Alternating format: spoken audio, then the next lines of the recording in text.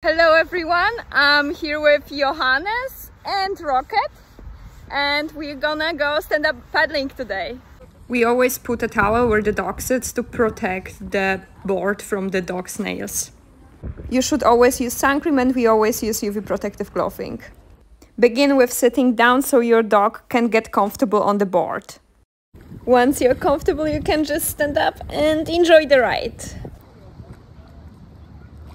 Even if your dog is a good swimmer, he or she should always wear a protective vest. I hope we gave you some useful tips so you can enjoy stand-up paddling with your dog.